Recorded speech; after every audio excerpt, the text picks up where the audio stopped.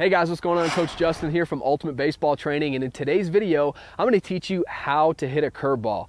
Now, I got to be honest, when I first started seeing curveballs, I struggled with it. I had no idea how to hit them. So I would be up in the batter's box and I would be sitting fastball. And if a fastball came, then I would absolutely destroy it. But anything that spun, I was an out, right? I'd either swing and miss or I would just take it because I was completely fooled and I had no idea how to hit it. I knew I wasn't to hit it, right? And so today, in this video, I'm to share with you the keys on how to hit a curveball. And I'm even to show you a great drill that's to help you master hitting a curveball very quickly. So let's jump right into it.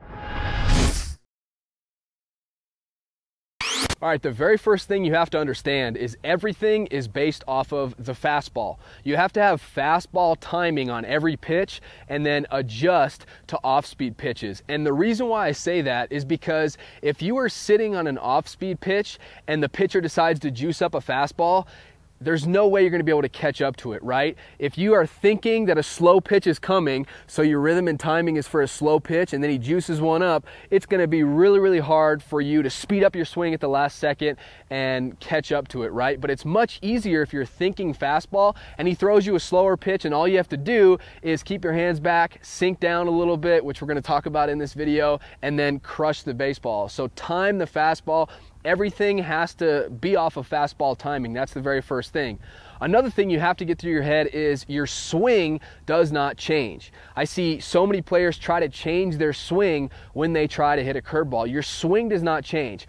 It's all rhythm and timing. That's the only thing that changes, but you should have the same swing mechanically on a fastball and a curveball let's talk about when you're confident that a curveball is coming, right? Maybe you've been paying attention. Hopefully, you've been paying attention to the pitcher and his tendencies, right? But maybe you're up there and you're down 0-2 or 1-2, and you realize after watching the game, studying other hitters at bats, you realize, hey, his out pitch is a curveball. 98% of the time, when he has two strikes, he throws a curveball. So maybe uh, you're you're really expecting a curveball. When you're confident that a curveball is coming, like I said, your swing does not change. The only thing that's going to change is your timing. So, what I mean by that is if I am timing a fastball, okay, I'm in my stance right now, my fastball timing would look something like load, go. Okay, one, two. Load, go. The only thing that changes when I know, when I'm confident that a curveball is coming, I don't change my swing. That, that just takes longer. Uh, my stride has a longer duration. So instead of load, go, one, two, it would be more like load, go. One, two. Okay, you see the difference there? Fastball, boom, boom. Curveball, boom, boom. It's just a rhythm and timing thing. That's easy when you know that a curveball is coming, right? But what about when we have no idea that a curveball is coming? Maybe the pitcher's really good at pitching backwards, throwing every single pitch in his repertoire uh, in any count, right? So then what do we do? Well, if I come back over here to the ball and the tee, then it goes back to, again, fastball timing. And our swing does not change. We're timing the fastball. And then all we do, so remember, load, go. That's my fastball timing. Load, go, okay? It's quicker than if I know a curveball is coming. The only thing we do is, okay, I'm ready for the fastball, ready for the fastball. He's winding up, he comes to the plate, load, go, and I recognize that it's a curveball. So all I have to do is keep my hands back and something that I didn't learn until later on in my career was you have to sink a little bit with the pitch, right? Like every every single coach out there tells you, "Oh, to hit the curveball, just keep your hands back, keep your hands back," but they never tell you how to do that. And I found that sinking a little bit lower to the ground is going to help you do that, all right? So, if I'm facing this way, fastball timing is load, go. And then I recognize, oh, curveball. I keep my hands back here like this because as soon as my hands start going forward, then I'm already beat. That's when you swing at those bad pitches in the dirt, right? Um, so as soon as we lose our hands, then we lose our entire body, okay? So when I recognize it's a curveball, up, I keep my hands back and then when my hands are back, my knob is facing the catcher, I'm in a good launch position, my hands are still back. What I recommend you do is just sink just a little bit, sink a little bit lower to the ground. What that does is it buys you a little bit of time, right? I'm keeping everything back. I'm not out over my front side. I'm staying balanced. My head's between my feet. And that just little bit of sink for just, you know, a split second will allow you to uh, let the ball travel. It'll buy you some time. And then all you do is you come up through it and you take that same swing and you crush that curveball.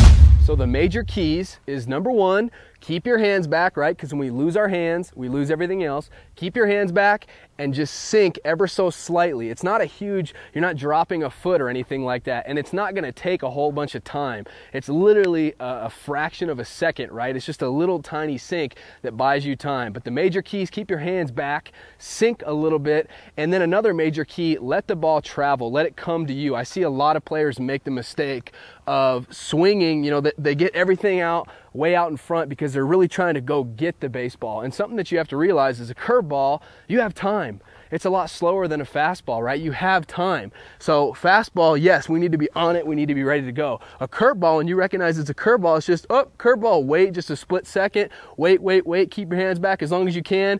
And then those hanging curveballs, those are the pitches you're going to take yard, okay? So keep your hands back, sink, let the ball travel. And then the last major key is adjust your sights. So what I mean by that, when you are anticipating a curveball, is look a little bit higher. Look for something up in the zone because a curveball, let's say a right-handed pitcher to a right-handed batter, it's gonna go up out of his hand and it's gonna start high and it's gonna come down and break for a strike, right? So adjust your sights, look for something up. You get in trouble with curveballs when you swing at a pitch that starts out pretty low or starts out really low because those pitches are either going to break out of the zone or break in the dirt. The curveballs that you have success with are the hanging curveballs, the ones that start out high up in the zone, not above your head, but pretty high up in the zone. And sometimes they look like they're almost coming at your front hip. Those are the pitches that your eyes need to light up because they're going to break right down for a belt high strike and you're going to be able to hit towering home runs on curveballs. And one little curveball drill that I want to share with you is a drill you can do with a coach and just a tee and some baseballs, right? So very limited equipment. This is when you're first starting out learning how to hit a curveball. I like to call it the stride to balance drill, but this is a little bit of a variation. So what you're going to do is you're going to put a ball on a tee uh, about belt high, right? And you're going to put it pretty much even with your front foot because when we get to the point of contact, that's where we want to be, okay? And you're going to have a coach who's just a few feet away and what they're going to do is as as you go into your load, they're gonna call out either fastball or curveball or fastball or off speed. So they're gonna do a verbal command to you. Now, when it's a fastball, let's say you go into your load and they say fastball, then there's no pause. We, you know, land with our front foot, our heel drops, and then we start our swing and we just take regular swings, focusing on hitting hard line drives up the middle. But if they say curveball and the coaches need to mix it up, say fastball a couple times in a row, then throw in some curveballs, right? The hitter doesn't need to know uh, what's coming beforehand. So only do the verbal command when they go into their load. But when they say curveball, instead of fastball, you're just going right away. Curveball, you're going to do what we talked about. So you're going to recognize, up, curveball, hold your load for just a split second longer, keep your hands back, sink a little bit lower to the ground, and then after you've waited just a split second longer, then you're gonna come through, you're gonna put a good aggressive swing on the baseball, same swing as the fastball, uh, and, and focus on low line drives